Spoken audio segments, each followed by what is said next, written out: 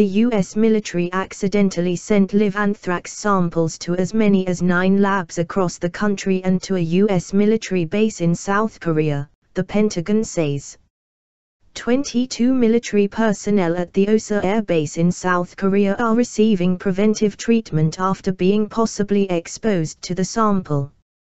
In the U.S., four civilians are receiving treatment although they face a minimal risk a Defense Department lab in Utah inadvertently shipped the samples.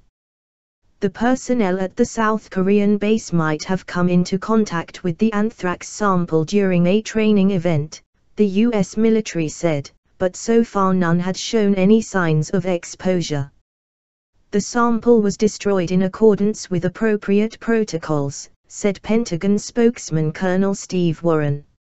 Experts in biosafety say they are astonished by the lapse and that more precautions are needed.